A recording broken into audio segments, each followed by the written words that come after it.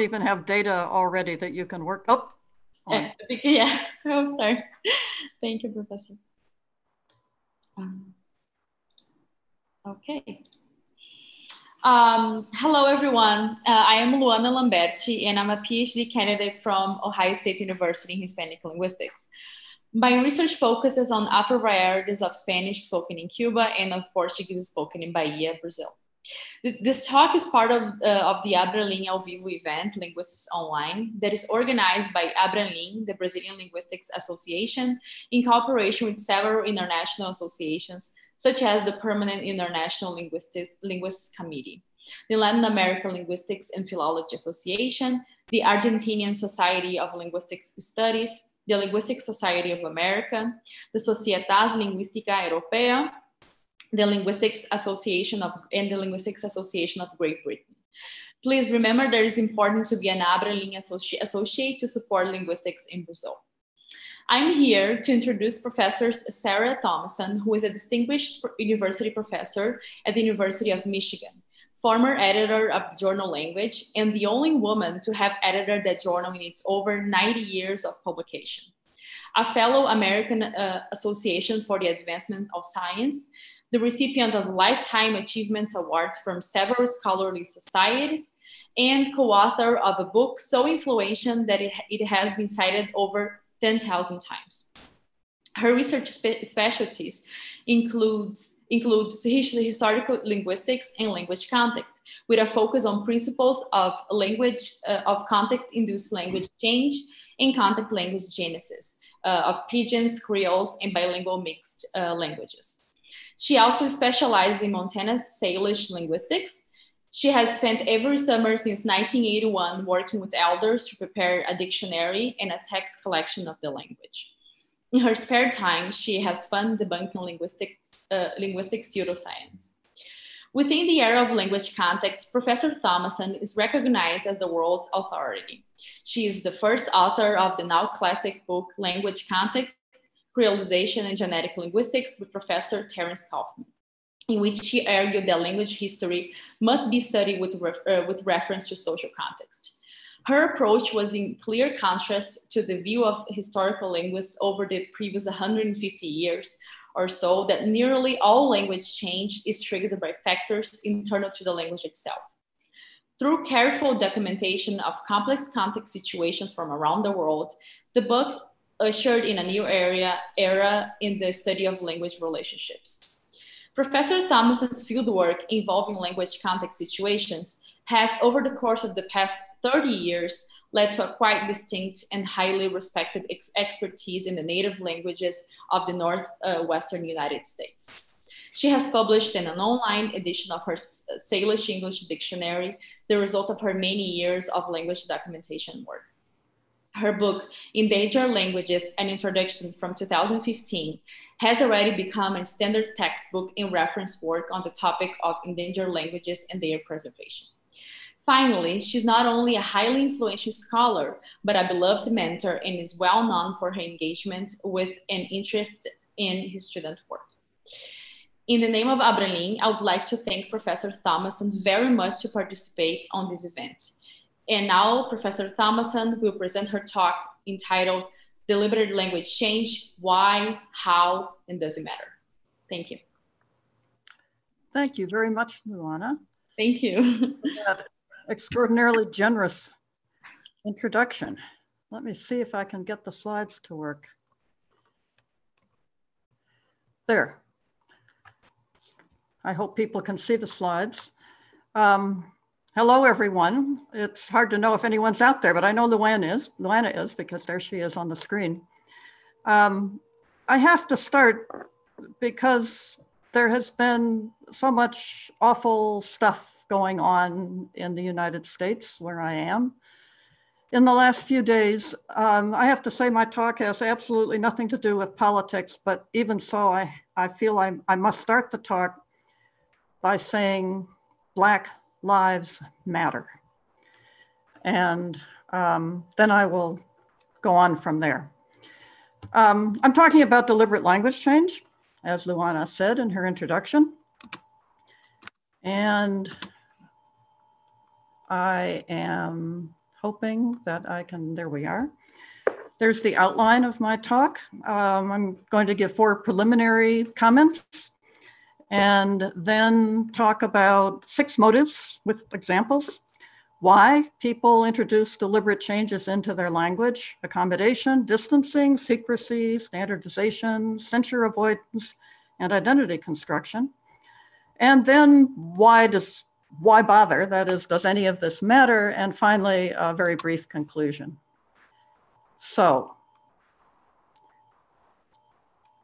that didn't work very well. First preliminary, um, why bother? That is, um, is there any doubt that deliberate changes occur? Is there any controversy about whether they occur?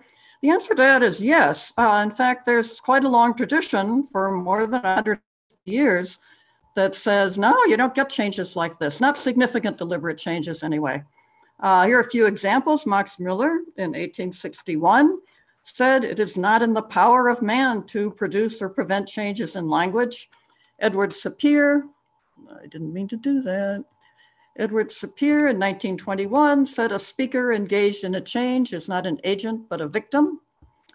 Noam Chomsky and Morris Halle in 1968, Sound Pattern of English, assumed the adult's inability to modify his grammar except by the addition or elimination of a few rules. Roger Lass, an eminent historical linguist in 1997, said the mistake in functionalist explanations of language change is considering language change to be something that speakers do rather than something that happens to their languages.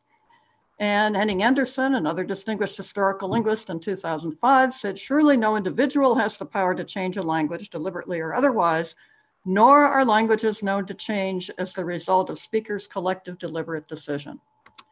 Probably the best known proposal about deliberate language change is, changes is um, Bill Labov's 1994. He says changes from above are introduced by the dominant social class, often with full public awareness. Changes from below are systematic changes that appear first in the vernacular and represent the operation of internal linguistic factors. At the outset and through most of their development, they are completely below the level of social awareness. Now, Labov was talking, of course, about um, Western societies with dominant classes and less dominant classes. Uh, a lot of my examples, as you'll see, are going to be from hunter-gatherer societies and others that don't have such clear class distinctions. Labov doesn't say that changes from above, that is the deliberate changes, have to be relatively minor, but his examples suggest that he thinks so. Um, and I think um, this view is uh, supported by something he says much later in his 1994 book, there is a part of language behavior that is subject to conscious control, to deliberate choice, to purposeful and reflective behavior. But as far as I can see, it is not a major part of the language faculty and it has relatively little influence on the long range development of language structure.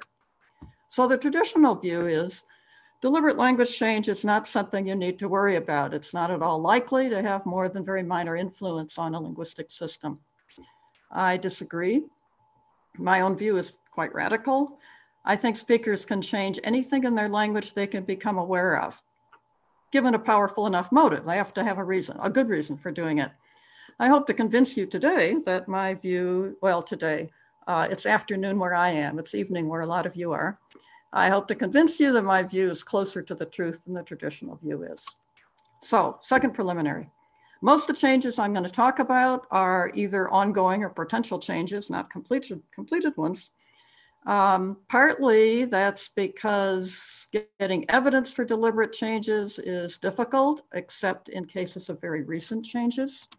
But partly it's because I think I'm radical in this too, that any novel utterance, even a one-time speech error is a potential linguistic change.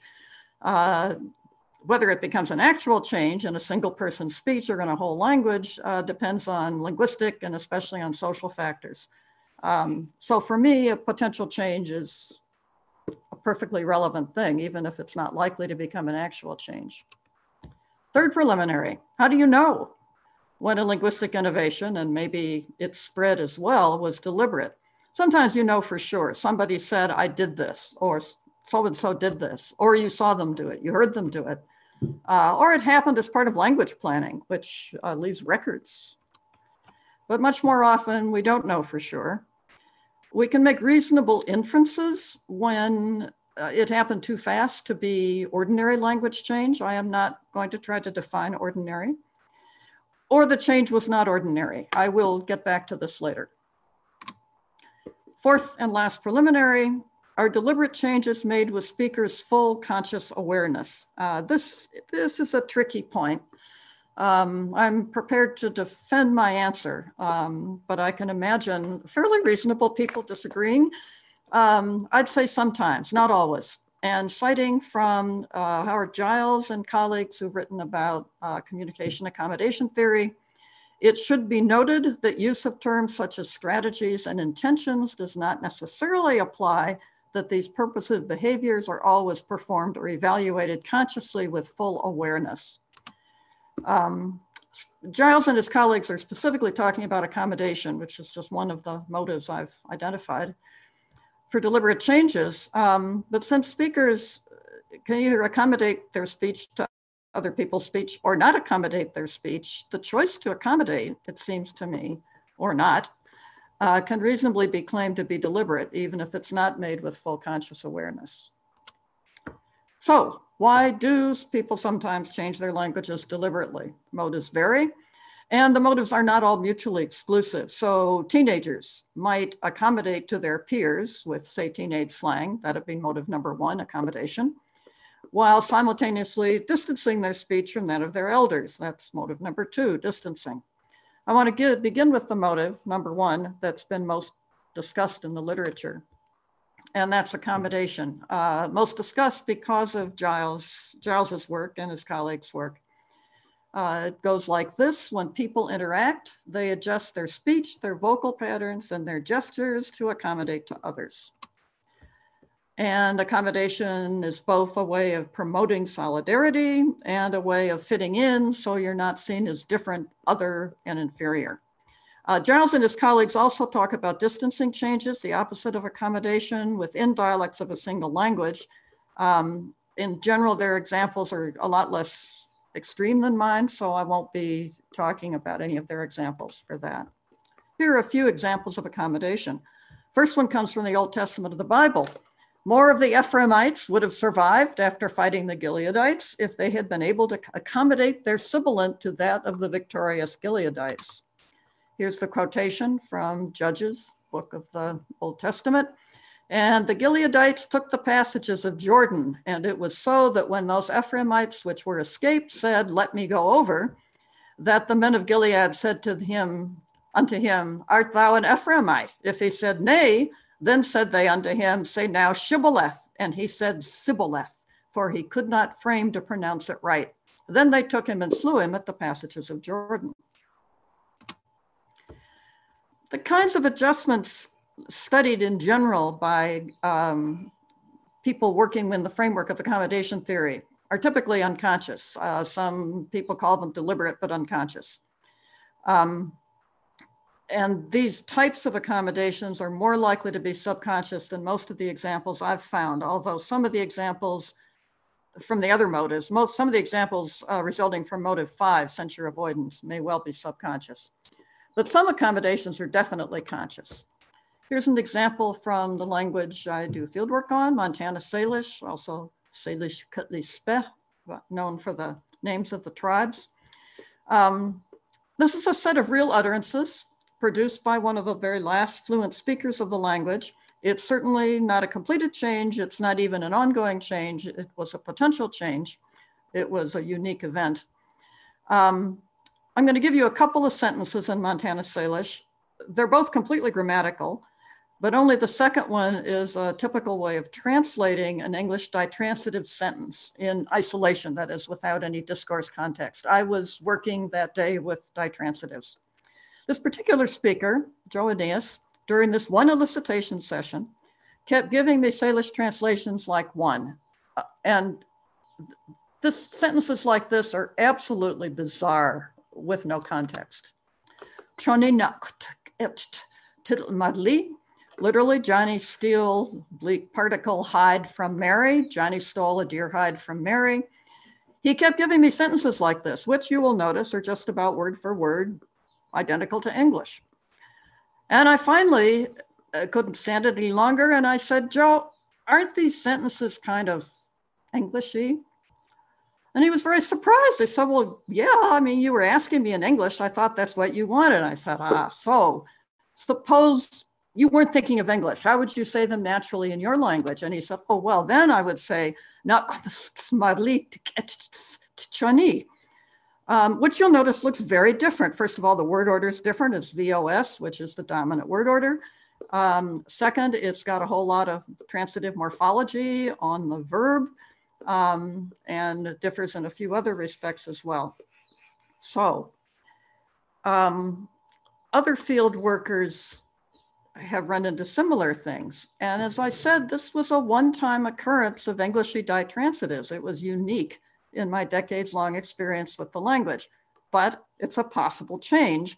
I can't imagine that it would happen. First of all, there are hardly any fluent native speakers left. And second, nobody else ever gave me sentences like that. But if constructions like one were to replace constructions like two as the usual unmarked way of saying such things, um, the language's morphosyntactic structure would be profoundly changed. And it's a possible change. Here's another example of accommodation in a fieldwork setting. This one is um, by bilingual Niska English speakers uh, from uh, Marie-Lucie Tarpent's work. Um, she says Niska object pronouns are normally used only for emphasis, so they're deleted under identity with the object of a previous clause. So as if you had an English sentence, they heard him but couldn't see, and the second object pronoun is deleted. But often in elicitation sessions, according to Tarpent, the Niska speaker strives to approximate the English utterance, inserting non-emphatic object pronouns in Niska so that it's more like English. They heard him but couldn't see him. And although that too is a potential change in the language, in Niska, not, a, not an ongoing change, as far as I can tell from Tarpent's work, here's an example of accommodation that is an ongoing change, not yet completed, I don't think. Um, this is in Ahtna, an Athabascan language spoken in Alaska has a very traditional, very elaborate directional system oriented to the rivers, and the rivers don't all flow in the same directions. Uh, and the directional system varies depending on which river they're using as their reference point. But now that system is being replaced by the much more boring English system, east, west, north, south, and things like that. Um, this is a this is an ongoing change, not just a potential change. And it's a typical case of accommodation. I mean, this is one of the most common, perhaps the most common type of contact induced change. Second motive, distancing. Distancing changes are made in, so to increase the speaker's linguistic distance from some other guy or more likely a community's linguistic distance from a neighboring community which speaks a closely related dialect or language. Um, it's a common phenomenon in New Guinea, in Papua New Guinea at least. Uh, Kulick um, wrote in 1992, New Guinean communities have purposely fostered linguistic diversity because they've seen language as a highly salient marker of group identity They've cultivated linguistic differences as a way of exaggerating themselves in relation to their neighbors. One of my favorite, in fact, my very favorite example of distancing um, comes from Papua New Guinea. This is uh, a dialect of a language called Buin, spoken on Bougainville Island, um, which is, belongs to Papua New Guinea. Uh, dialect is called Uisai. Buin has about 15,000 speakers. Uisai has about 1,500. The language has a very elaborate system of feminine and masculine agreement. So nouns are lexically marked for feminine or masculine and verbs and noun modifiers and I think other things in the sentence agree with um, the noun and gender. Uisai has reversed all the lexical gender assignments. Every noun in Uisai that is feminine is masculine in the other Buin dialects. Every noun in Uisai that's masculine is feminine in the other Buin dialects.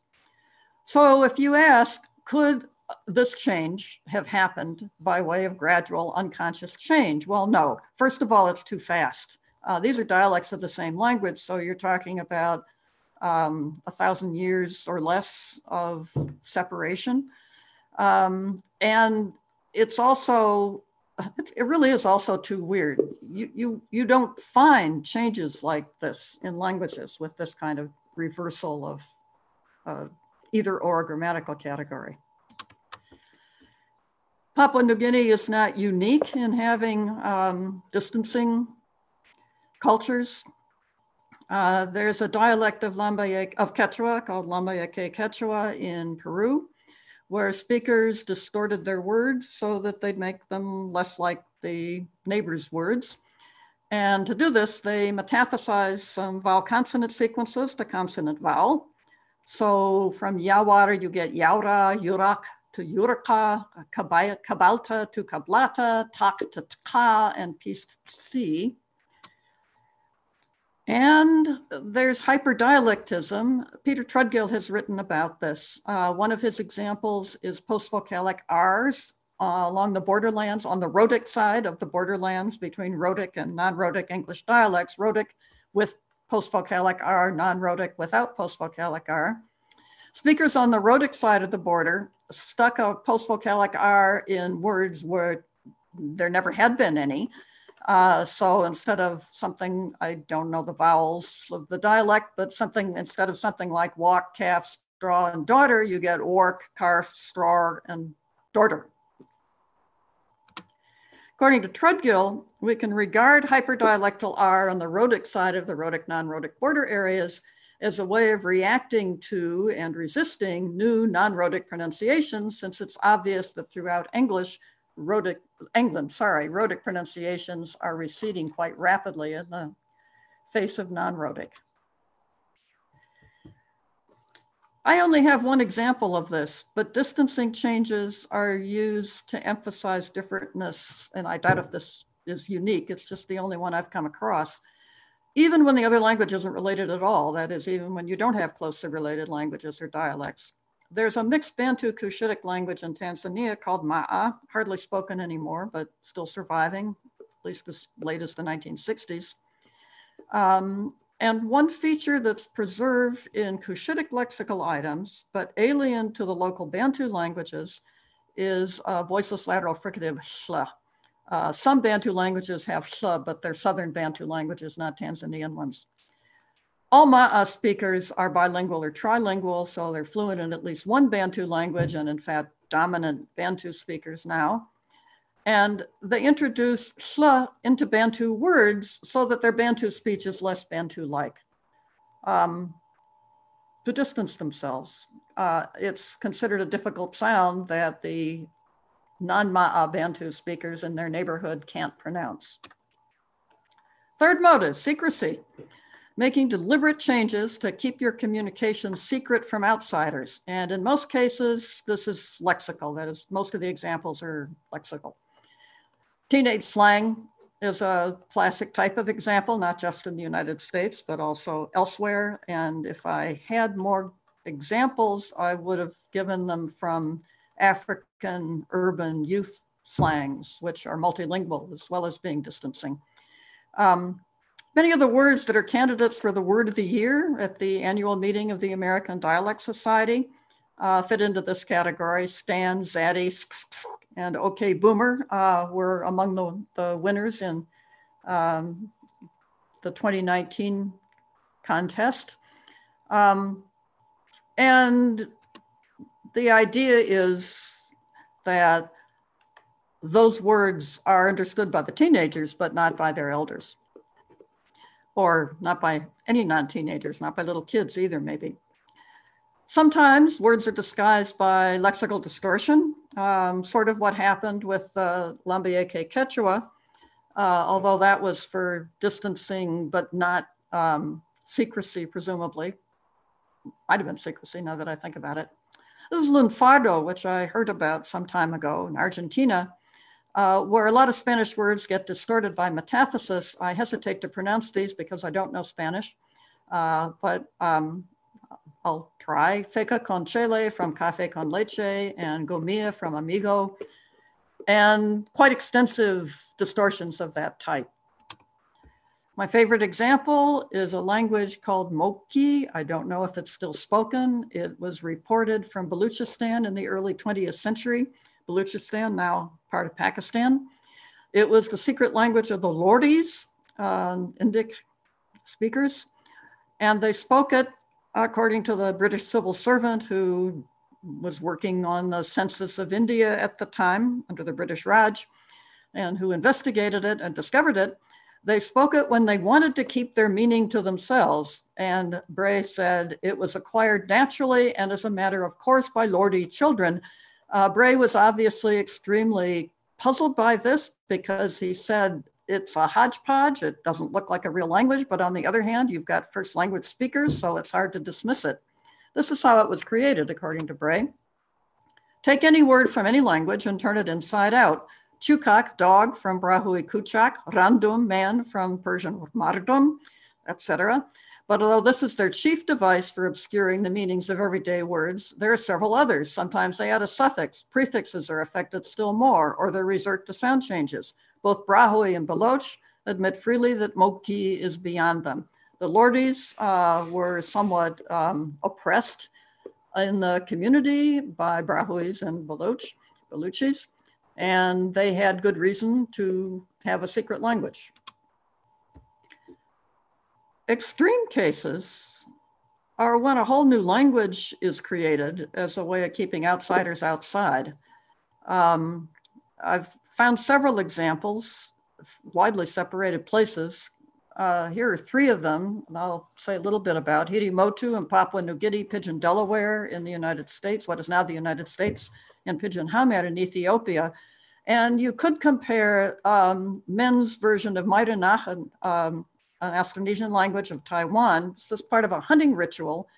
Uh, the lexicon of the men's language involves metathesis and sound substitutions and word replacement so that there's a whole lexicon different from women's lexicon.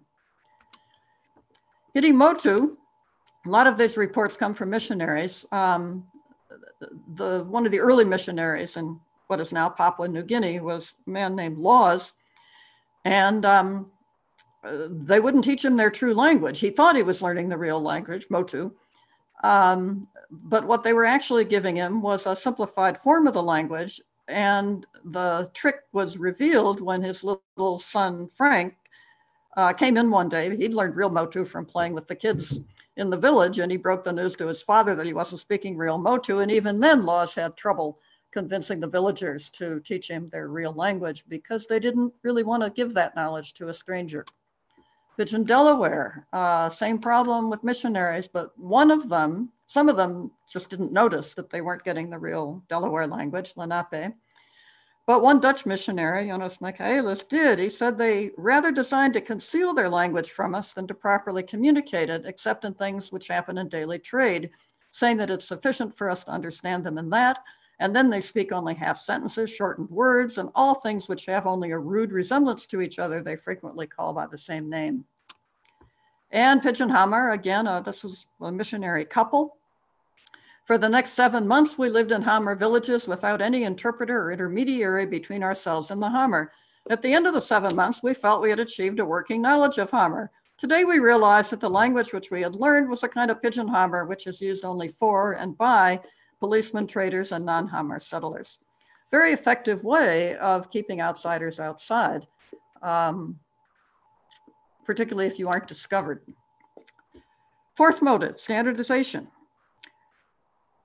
all standardization processes will have deliberate changes involved or creations, um, including, for instance, selection of dialect variants when you're trying to standardize a language that has a lot of dialect variation. Uh, in standardization processes, you especially get lexical creations and selections, but sometimes you also get structural features. And one particularly impressive example um, was what the revered uh, reformer, language reformer, Johannes Aavik did in Estonia early in the 20th century. He thought that there were too many long words and apparently he thought that German had some good ideas that maybe um, Estonian could adopt. So he invented a couple hundred words, and he also introduced some morphological and syntactic features, uh, including inflectional morphemes, like a synthetic superlative inspired by German. Quite a few of his innovations caught on and became part of the newly standardized Estonian.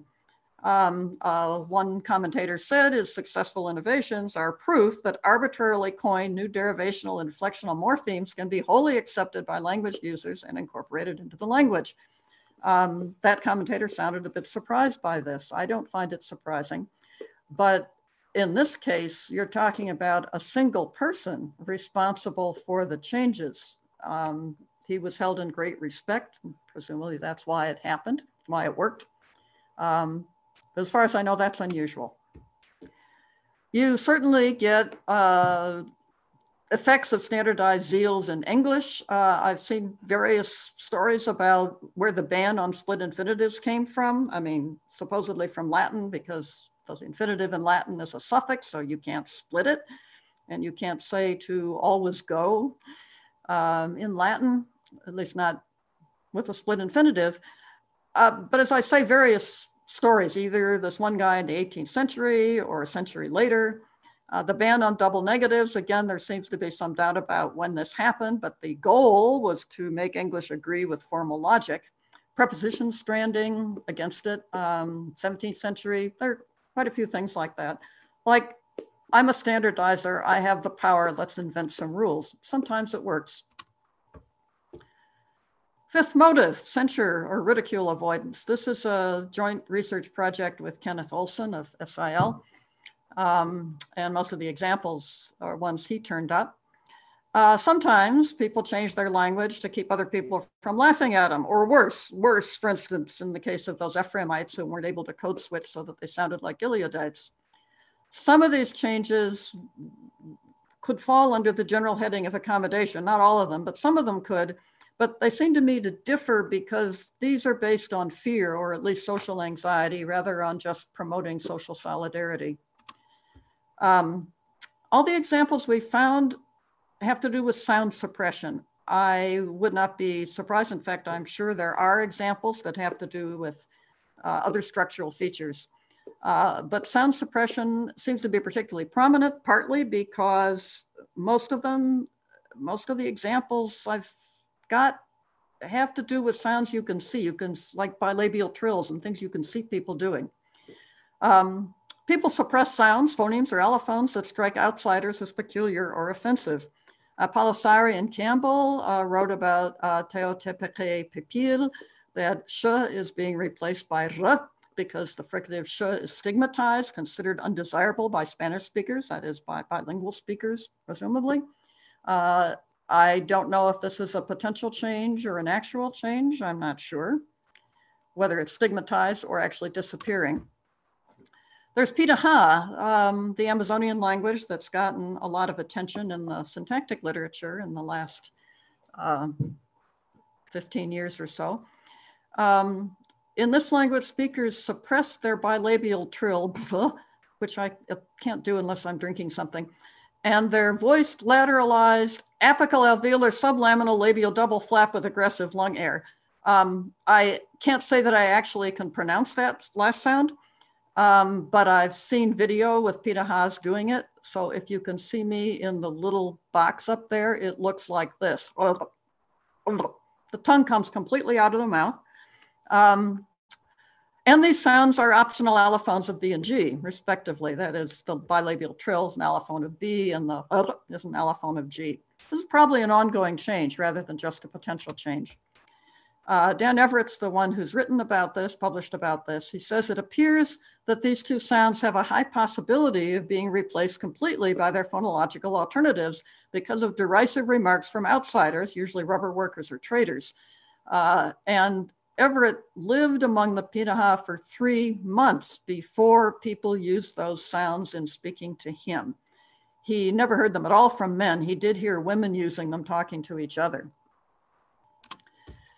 Uh, similar phenomenon in several Bantu C languages. I don't have a map here of Bantu classification with the old ABC geographical designations, um, but a sequence of um, with a labial trill being replaced by mb with just a plain b in a number of languages, Bozaba, Lobala, Bomboma, Zando, and others. Um, the original uh, sequence with the labial trill was recorded in 1950, and the book commented then that young people were losing the sound. And he said that adults also have a tendency to replace the trill with an ordinary B when they speak with white people. Uh, skip ahead to 1985. By then, the trills were gone in all of the languages except uh, Bozaba. So this is a nearly completed change, completed in most of the languages where it occurred. Another example in Mandaya in the Philippines, there's a um, apical, an interdental approximant, apical interdental approximant, uh, um, and there is said to be strong pressure to identify with the Cebuanos and drop this allophone while we were alone, this is a field worker talking about one speaker, the speaker used the interdental approximant, but when several Cebuano speakers gathered around and began to laugh each time he used it, he quickly dropped the allophone where it normally occurred. Uh, and uh, according to this field worker, there's similar changes going on in a couple of other, at least two other uh, Philippine languages. This is a case of accommodation, clearly. It's also an ongoing change. In some languages of Vanuatu, uh, including Mavea, um, lingual labials are being lost. Again, you can see the sound that comes out, the tip of the tongue is visible. Um, and they're being lost in part because younger speakers, quote, find the way lingual labials are pronounced laughable, to say the least. This is an ongoing change. On another continent, Nanti, um, uh, Peruvian Amazonian language uh, and x, which are allophones of K and G respectively, are suppressed and replaced by K and G or G in certain social situations, according to Lev Michael, especially when they're talking to speakers of the closely related language, Matsigenka. As far as I know from what Lev Michael told me, this is a potential change, not an actual one. And two other potential changes. Um, and here the situation is similar to what whatever found, Everett found with Pirahã. In the New Guinea language, Northwest New Guinea language, Doutai, speakers suppressed implosives for about three weeks while Mark Donohue, Donohue was studying the language. Then it surfaced after a while, after they got comfortable with him and trusted him, I guess. Um, and there's a dialect of Sika, which has a labiodental flat, uh, but they don't say it to outsiders. So it's a fairly common uh, phenomenon.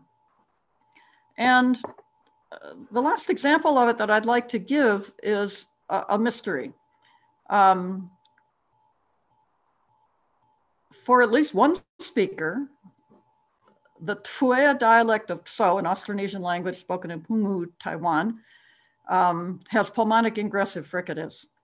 The story begins around 1988 uh, when a student of mine named Mike Fuller in a phonetics class um, uh, for his fieldwork project was working with a man named Avai Akoyana Neahosa, a divinity student in Pittsburgh, so at the University of Pittsburgh.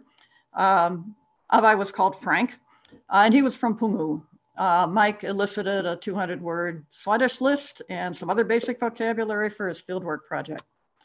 And he came to me uh, shortly after he started working on it and said, Sally, didn't you tell us that there are no languages in the world with ingressive phonemes, speech sounds? And I said, well, yeah, there's that ritual language in Australia, but otherwise not. And he said, I think I've got them in my language. And I said, no, you don't. And so he played me the tape and he did. Uh, they're extremely, um, extremely salient. You can't mishear them. Uh, they're only word initial. There are two of them, the and a. Um, they usually occur before glottal stop and a vowel, occasionally before an oral stop or affricate or nasal stop. And then I've got three examples where there's a glottal stop followed by a stop or affricate.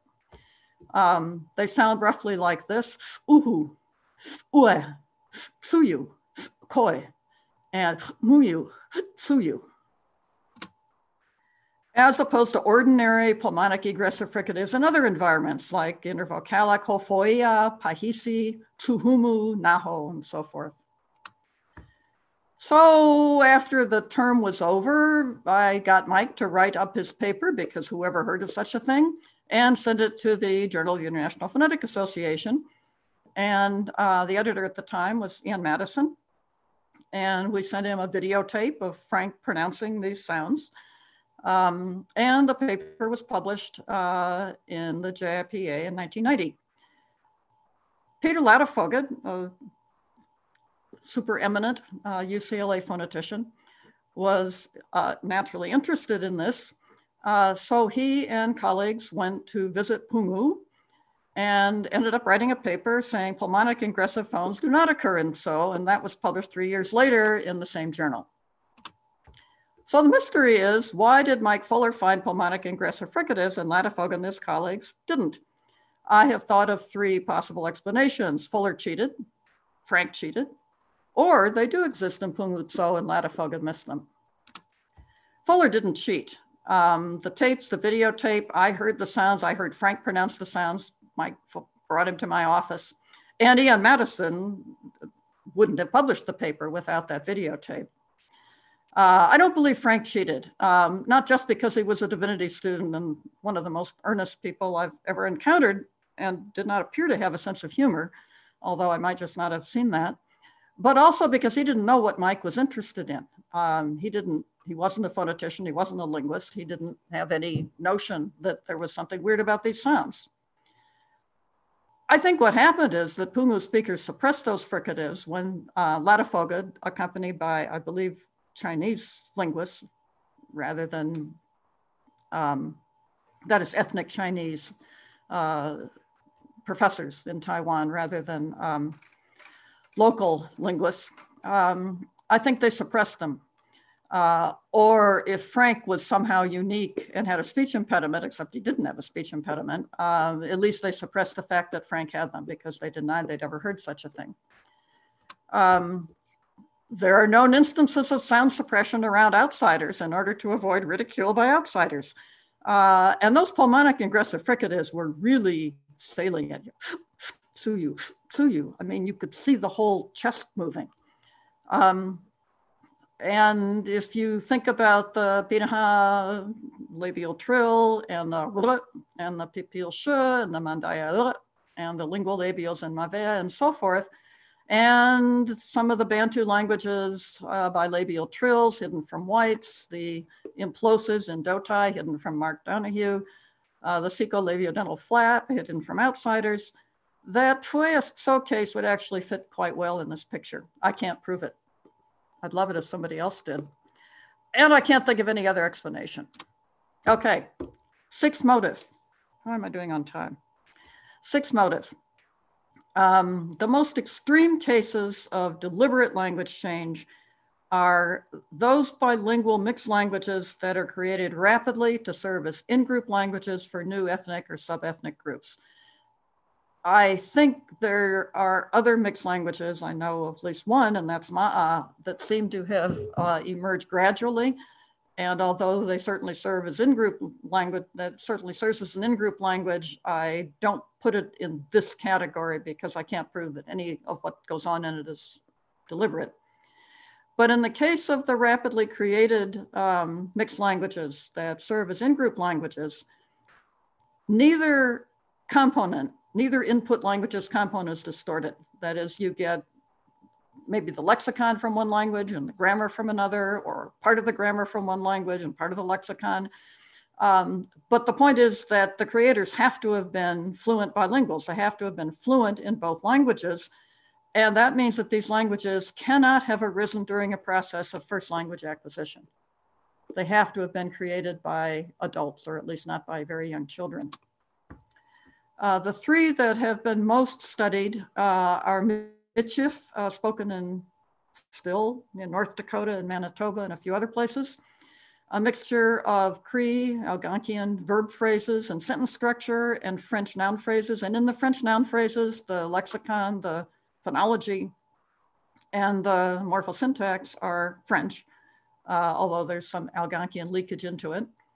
Um, they, Michif is spoken by the Métis people. Métis means mixed. They had European, the original community had European fathers and Algonquian mothers. Second, um, Yidni Aleut, uh, spoken in Russia on one of the two, no longer spoken there, but until it was the people, a few last few people were moved to mainland Russia. Um, but these are, it was spoken on one of the two commander islands off the far east coast of Russia. Um, it's basically Aleut, although there are quite a few Russian borrowings, but it has a complete Russian system of finite verb inflection. That is, a finite verb inflection is just lifted wholesale from Russian. The non-finite verbal things like subordination, um, that's all Aleut, but the finite verb inflection is Russian. This too was a mixed blood population with Russian fathers and Aleut mothers. And then Media Lingua, spoken in, in the Andes, Bolivia, Ecuador. Um, the lexicon is Spanish, the entire lexicon basically, and the structure is Quechua, entire structure. Uh, these were not mixed blood people, they were um, urbanized Quechuas. They had, the young men at least had gone to the city to build buildings and things and uh, had gotten partly acculturated and then went back home and this is their language. So just a couple of examples, one example from each of them. Here's a Michif sentence. Uh, la jument, jument, la jument, that's from French la jument. Um, and then kia yao uh, with an Algonquian a Cree verb, uh, past, have, transitive animate, third person on third person. Uh, un petit poulain, a little foal from French, un petit poulain. It's from, of course, Quebec French. Michif is based on Quebec French, not Parisian French. I can't pronounce Quebec French. But anyway, that's what a mixed sentence in Michif looks like. Mednyj Aleut, uh, the other commander island is Beringa, and the Aleut spoken there is not mixed. So I've put that there for comparison. Uh, Beringa Aleut is the left column, Yedni Aleut in the middle, and Russian in the right. Um, don't work. Uh, that's a singular imperative form. Awa in Beringa Aleut, awa lagala. Um, Yedni Aleut niabai and the aba is cognate with the awa. Uh, in Russian, nyevarabatai, where the nye the particle, the negative particle, is a prefix in Yidni Aleut, remarkable for Aleut, which is otherwise exclusively suffixing. And the suffix is the Russian imperative. He or she sits with no gender distinction. Uh, unguchi kuch, uh, sit present third singular. Uh, unguchit, sit present third singular all combined into one in one flexional suffix and Russian sidit.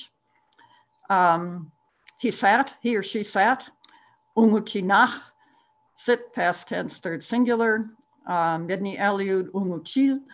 Um, I don't know, the suffix is from the past masculine singular suffix in Russian, uh, and I don't know whether it's specifically masculine in Yedni Aleut because the source I've seen this from doesn't say whether there's also umuchila, which would be the feminine.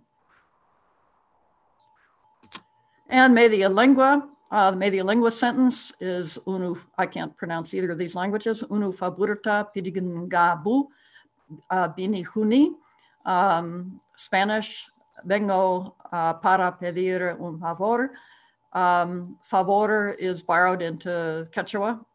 So you see the Quechua still has that word, which is why uh, you can't see between the Quechua and the media lingua for the word for favor that uh, you have Spanish lexicon entirely in media lingua, but shuk faburda manga manya nga bu uh, shamuhuni.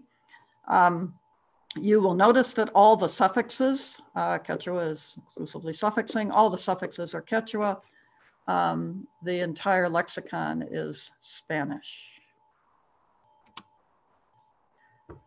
Bilingual mixed languages cannot have arisen uh, through ordinary gradual language change. Um, they don't resemble anything known from ordinary change contexts. Uh, they do resemble some things that you find in code switching. Michif particularly looks as if it could be fossilized code switching because there our code switching context where noun phrases are code switched into matrix sentences uh, that are in the other language. Um, but not ordinary gradual language change. And furthermore, they develop too fast to be products of gradual contact induced change of any kind. Um, both uh, Michif and um, uh, Yedney Eliud are 19th century um, creations. Uh, and it's, first of all, you don't get that kind of mixture uh, with two whole chunks of a language from different languages uh, in ordinary language change. And second, um, you certainly, if you could get it, you couldn't get it that fast. So they have to have been created deliberately. And in these cases, probably consciously, at least in part, because they have a very prominent social function of constructing a group identity. So my last topic, does deliberate change matter? That is, uh, so what? Um, is it just a curiosity of interest only to a few people, or is it something that is of more general relevance?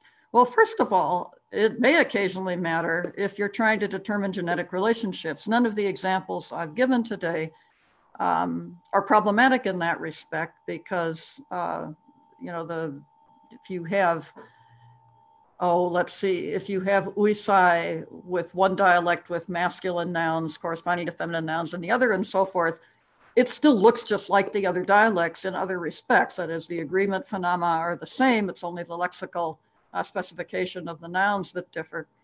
Uh, and for Lambayeque Quechua, you know, so you have word distortions, but you would still probably recognize that the words are cognate with the guys in the dialect next door. Um, but if the kinds of lexical distortion that you find in Moqui and Lambayeque Quechua and Lunfardo are pervasive enough, which is not which is not a far-fetched notion, then cognacy with words in related languages could be obscured. Uh, likewise with the mens maymanach, um, with lexical replacement, anything with lexical re extensive lexical replacement, which also happens. Um, and then that could defeat not only traditional efforts to establish genetic relationship, but it could also possibly defeat the kinds of um, modern uh, Bayesian uh, phylogenetic um, uh, trees, or they're not trees, but the um, producers of genetic related genetic relationships.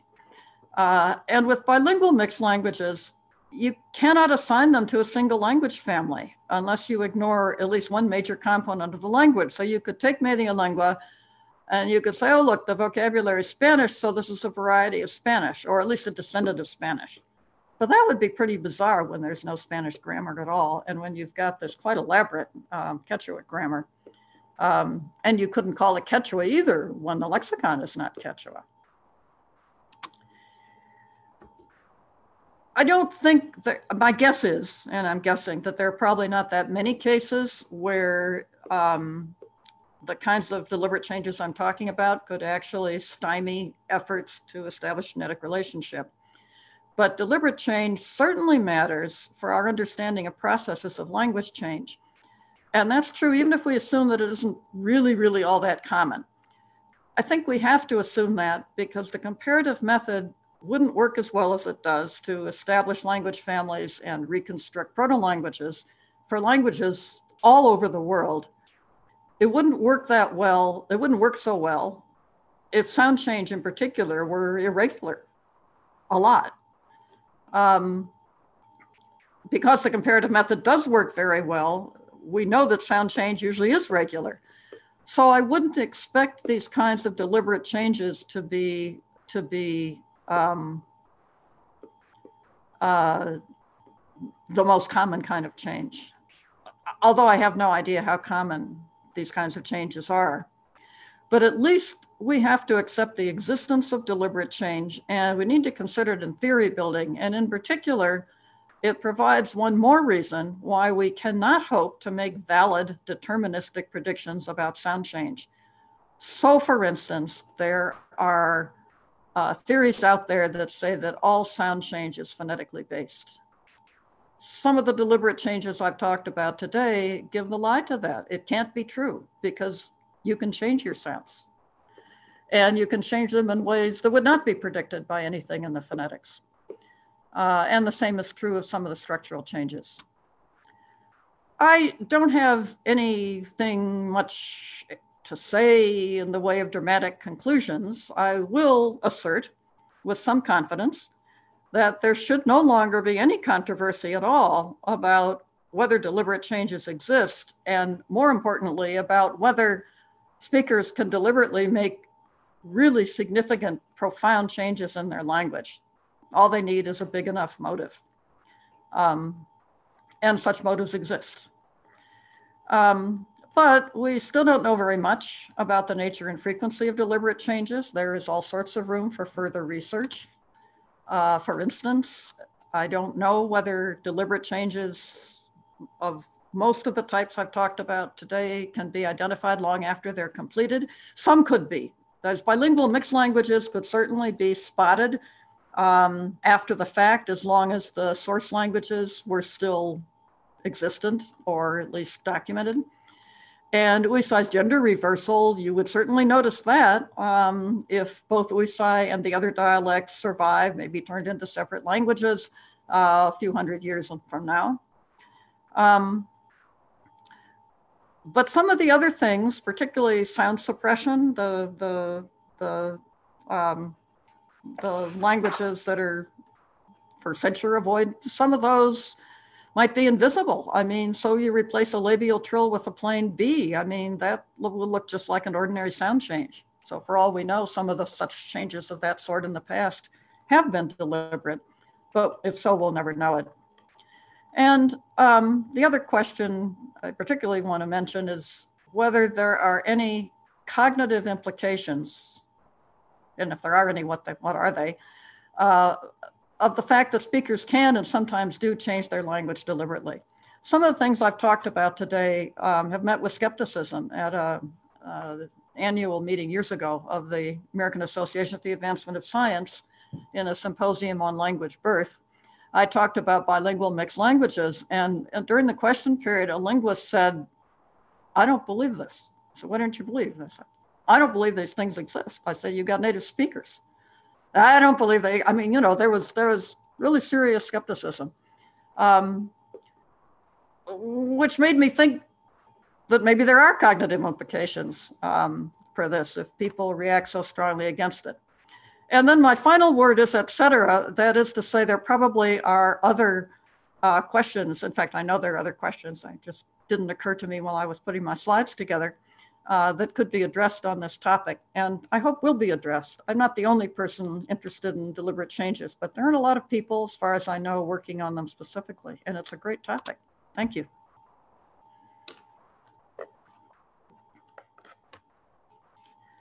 Okay.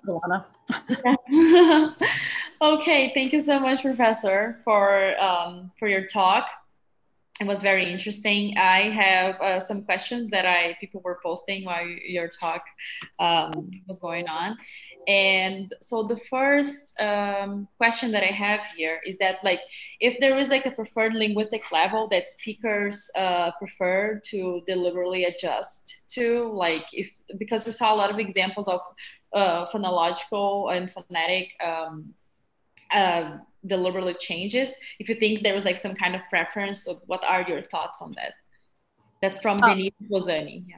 That's a good question. If I'd thought of it, I would have added it before the etc. Um, I don't know.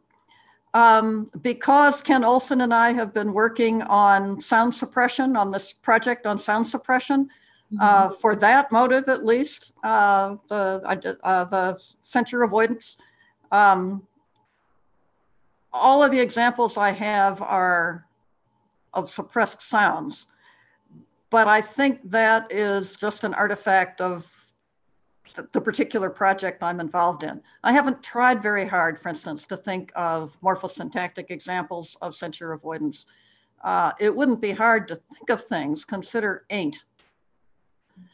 Um, those of you who teach linguistics to non-linguists that is, people who start out not knowing anything about linguistics, have probably noticed that convincing people that ain't is not a bad word is very difficult. Uh, and in fact, people who have it in their native dialect avoid it because they don't want to be sneered at, that kind of thing. So I know there's that's only lexical, except that there's also a structural aspect to it because um, we're going home, aren't we? Is the standard English way of saying that sentence, but it makes no sense grammatically. Sorry, I'm going home, aren't I? That makes no sense grammatically. Um, uh, I'm going home, ain't I, would make excellent sense back when ain't was not stigmatized. Um, so there is a grammatical aspect to it. So I think I could have thought, I could have thought of things like that, but I don't have examples. But some of the others, the, um, the bilingual mixed languages, I don't know. In fact, that would be bizarre. I don't know if anywhere the only thing that's adapted into one language from the other is the sound system. That would be weird. Um, so those examples are all structural. Um, let's see, I'm looking at the other motives. Uh, standardization, standardization certainly normally involves um, proper pronunciation, but not always. A lot of time it's lexical, and in Aavik's case, I don't know that he did any phonological stuff. It was all structural. Secrecy, um, a lot of those, particularly if you're playing with the words, word forms, those that the secrecy motive would give you a lot of phonological stuff. But that's not all they did with Moki. They also stuck prefixes on words, and this was in a language that didn't have a lot of prefixes um, and new suffixes. So some of that was morphosyntactic too, morphological anyway. Distancing, yeah, a lot of those were phonological too, weren't they? But not all, certainly not the Uisai example. That was not phonological. So I don't have any sense, I don't have any intu strong intuitions about it, but at least I don't have any sense that somehow phonology rules in deliberate changes. Mm -hmm. Might. Yeah. Might. Yeah, I actually the dialect that I studied, there was a very fast uh, change in the dialect to a more like standard one in the past like 40 years, and so it's like I think it falls into the category of standardization, and, and most of the, the, the changes were in the in the grammar. So yeah, interesting. Mm-hmm. Are there are there significant phonological differences between this dialect and neighboring dialects? There are you wouldn't expect phonology to do much if there's no phonological variation that's relevant. Yeah, there are some, but like they're not. It's just like that I noticed at least there's just one sound that changed a little bit, but like most of like 90% of the changes are all in the grammar, in the morphosyntactic level. Yeah. Interesting. Okay, um, so I have um, some other questions. So just like a comment from Hugo Salgado, uh, he said that as a native of El Salvador, where Teotepeque pipil was spoken, he said that I can tell you that this variety of pipil is now extinct. Uh, thus, we cannot uh, know whether the change you mentioned reached completion because oh, spoken more. Yeah. Did he say anything about his, did he have any intuitions about that particular change? Did he know what it was like before it was extinct? I can ask.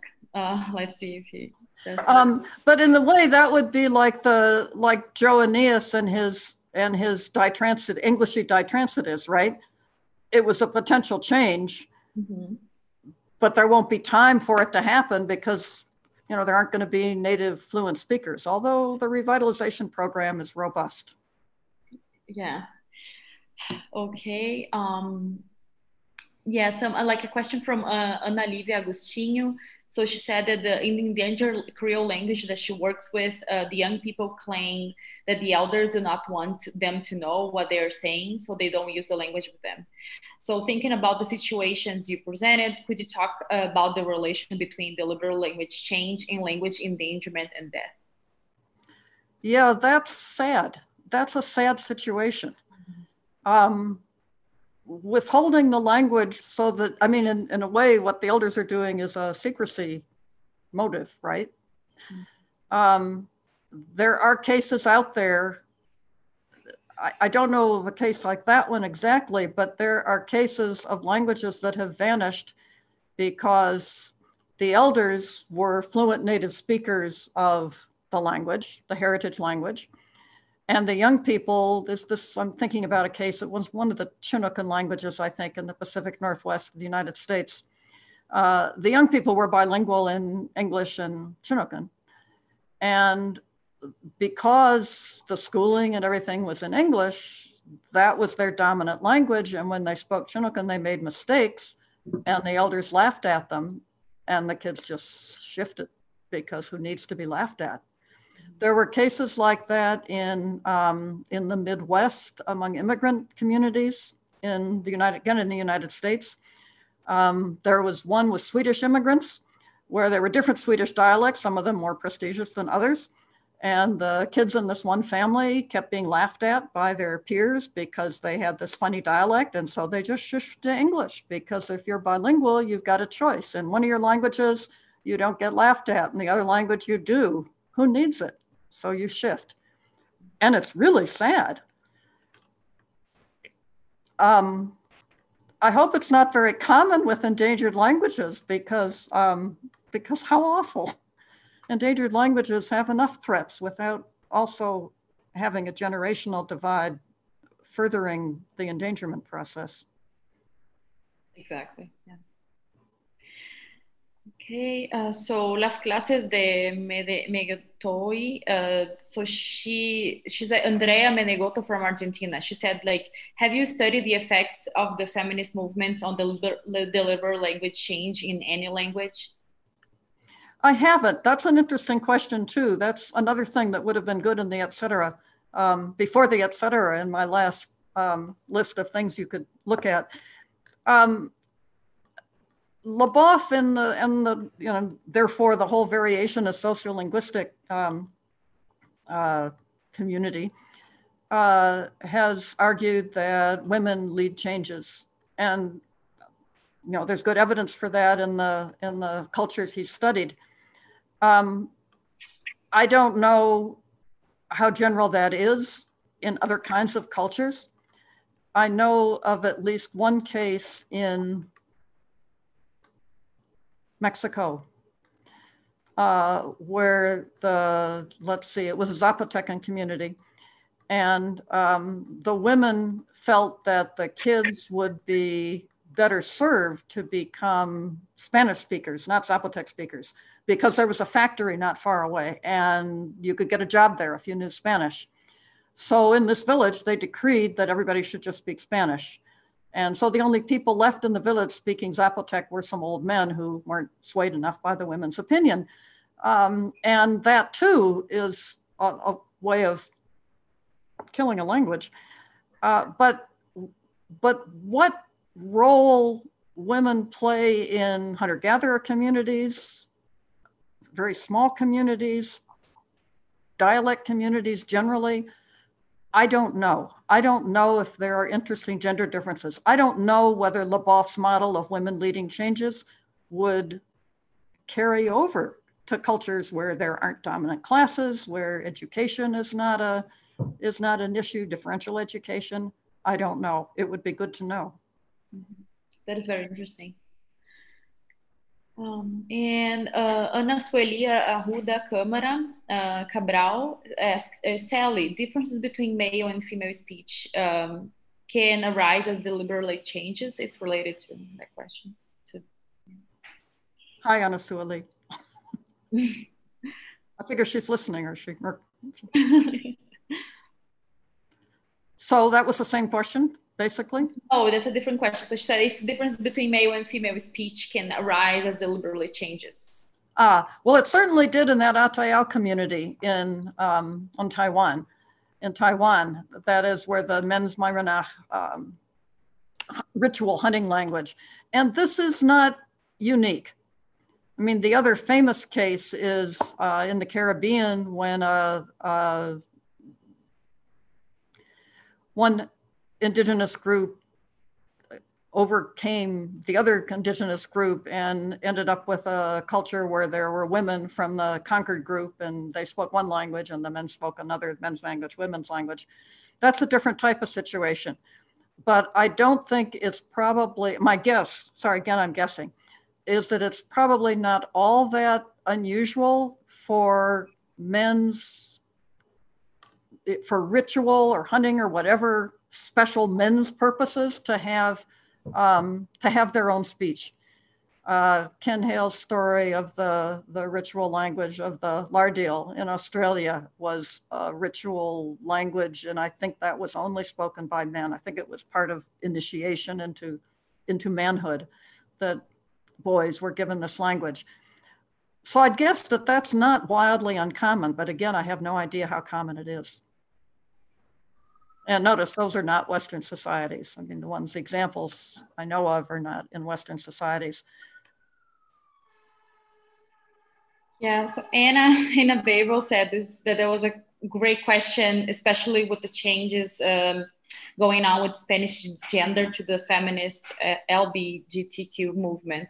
I think she's probably referring to the, at least like in Spanish, uh, there was like the X, you know, like all these changes are right. deliberate. Yeah, if you have like any thoughts about it. I don't. I wish I did. Mm-hmm. She's certainly right that it's an important topic. Mm-hmm. I'm ignorant. And I'm really ignorant of Spanish. So to say something to either you or Anna about Spanish would make me very nervous. I was kind of nervous about including Spanish examples, but I had to have examples. Okay. Um, and Adail Sobral uh, said that may we say that in, in, in a way all changes arise from social communication needs?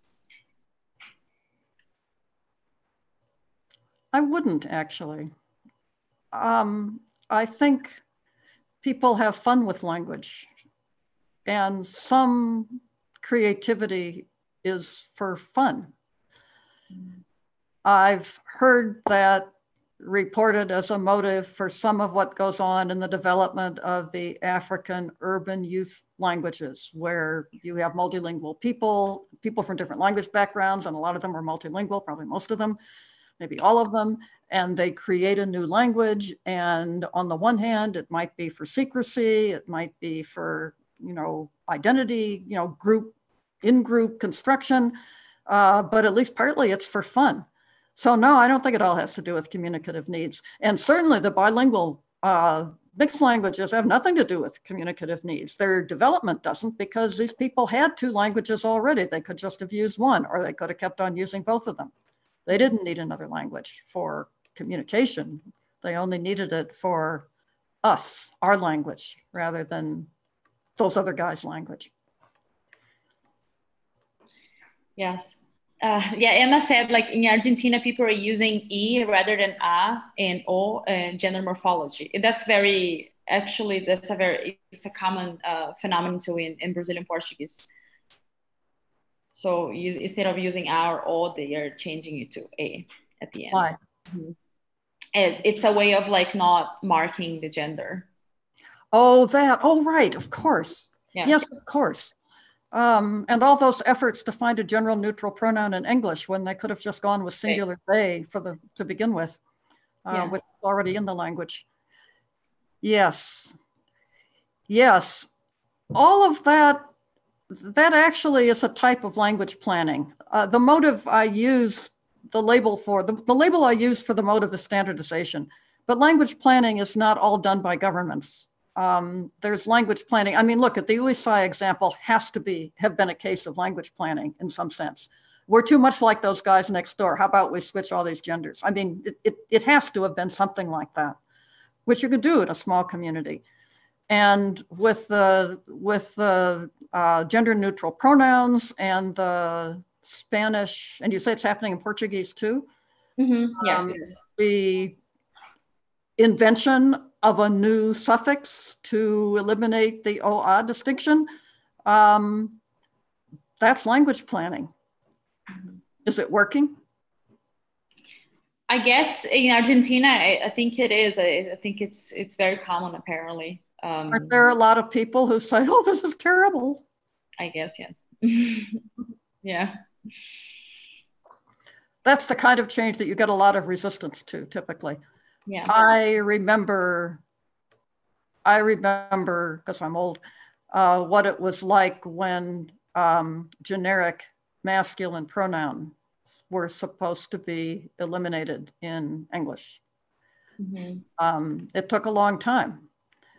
Now it's pretty standard, but there were people who were really unhappy about it. Um, and I've seen in the literature people, you know, linguists, historical linguists saying, well, you know, this isn't, I, I'm not comfortable with this. It's not a natural change. Mhm.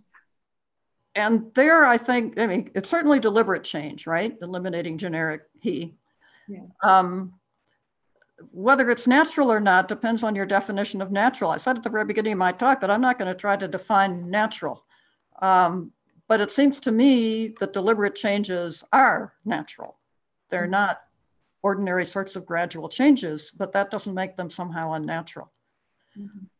I'm still not going to try to define natural though. Yeah. Um, uh, so another question. So she, so from yes, she said, would you use Labovian methods to study deliberately change or other methods? That's from Andrea Menegotto too, from Argentina. Interesting. Um, I'm trying to think of what I have done. I'm afraid, I mean, most of my examples, not all of them, but most of them come from language contact. So I've come across them in doing language contact research. And in some cases, I looked at the change and I thought, you know, obviously it's a contact induced change. This is weird. It has to have been deliberate. And then I tried to see if I can think of evidence for that or why they did it. I have not developed a methodology. I'm not sure it would be possible to do so, but somebody cleverer than I am might be able to. I've not developed a methodology for finding deliberate changes. Mhm.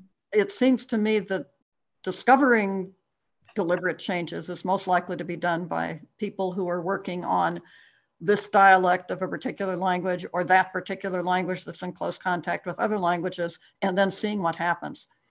But if I were going to devise a project to go look for um, deliberate changes, and if I were maybe 30 or 40 years younger, uh, I'd go to New Guinea because that's a place where, as Kulick said, you know, it seems to be a thing. Um, the first field worker who um, investigated non-Austronesian New Guinea languages commented that um, you go from village to village and you find that the grammars are very similar, but the vocabulary is all different. And I don't know if that observation, I don't know to what extent, if any, it's held up because that was many decades ago. Um, but it does make you wonder if maybe, uh, given the predilection of a lot of people in New Guinea for these distancing changes, if maybe some of those uh, great differences in the vocabularies were done by people making their language different from the guys next door. Anyway, that's where I'd go. Yeah. Maybe the Peruvian Amazon, from what Lev Michael said, there's a lot of that going on there too. But but New Guinea, which has about a seventh of the world's languages, um, crunched into a not very huge space, um, would be a place where you you would certainly expect to find a lot of them. And maybe get an idea of the scope and the likelihood of phonological versus non-phonological change, you know, that kind of thing. Yeah, so I have a just I think a final question is uh, the the idea of awareness. Uh, so you think so the whole like speakers have to be aware to to make these deliberate changes, and what do you think is the is basically the role of awareness in in this kind of changes? Well, I'm happier if I can look at a change and say they have to have known what they were doing. Mm-hmm. That is, they have to have been aware. Like the Uisai gender switch, like the bilingual mixed languages. I don't, you know, it just seems wildly unlikely that those would happen just accidentally without people noticing what they were doing. But, but I, I don't think it's possible for most of these changes to prove that people were fully conscious of what they were doing. Mm-hmm. And as I read the uh, communication accommodation theory literature, uh, the Giles work and his colleagues, it looks as if they actually are not making a clear distinction between deliberate changes, it's not their term, but accommodations that are conscious and ones that aren't. That is, they're all accommodations. Mm-hmm. Um, as I said at the beginning when I was talking about that, um, you could challenge my view that you could have deliberate but unconscious changes. That is, people could have social motivations that they're not aware of. One question is whether they could become aware of them. Surely they could. And because they could, right? Because, you know, why are you talking like that? That's not the way you normally talk. And then if you think about it, well, it's because he talks and I admire him. So I want to talk like, I mean, you know, you, if you think about it, you could realize what you were doing. And that's why I don't feel too nervous, although you can tell by the way I'm argle bargling around here that I'm slightly insecure about it. That's why I don't feel too uncomfortable about talking about deliberate but not fully conscious changes. And in the case of accommodation, if I'm going to talk that is, if I'm talking more like this other guy, um, and I'm not noticing that I'm doing it, okay, that's not full conscious awareness. But what if I don't like the other guy and I don't like the way he talks and I want to make sure I'm not talking like that? I might not be doing that with full awareness either, but the fact that I have that those two choices seems to me to bring deliberation into the picture. That is, it is a choice. And whether you're fully aware of the choice you're making or not, it still seems to me to be a deliberate choice. But as I say, I can imagine people that I might not consider totally reasonable, but pretty reasonable disagreeing with me on this point. I don't know how far I'd push it. That's very interesting. So think one more question. Um, what is your opinion about the duality? Um, on, on the one hand, the language change occurring, any directionality going back and forth. On the other hand, the the the principle the principle of least of the least effort uh, or the simple to complex theory. It was from the what? Uh, simple, Wait, simple to somehow you cut out partly. What's the principle? Uh, the the principle of uh, least effort and the simple to complex theory. Ah. yeah. I, I don't believe in the principle of least effort. that is, I don't believe that language change is governed by the principle of least effort in any global sense. Uh, some changes are. Mm-hmm. Some changes aren't.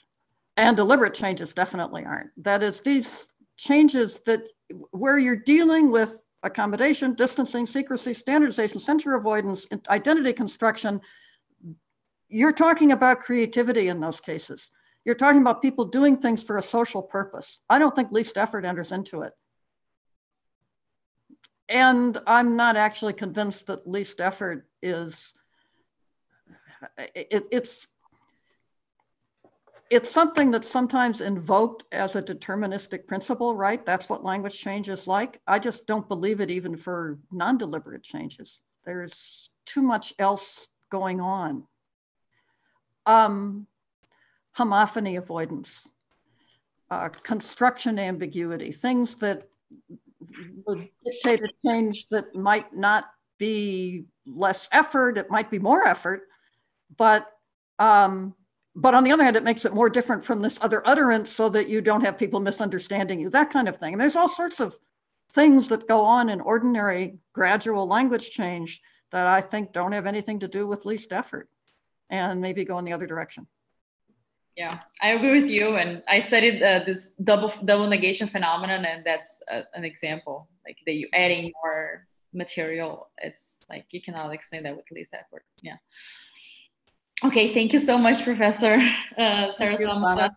It was a pleasure to have you in this event from Abralin and uh, and Abralin and all the community, the linguistics uh, community is thanking you for, for your talk.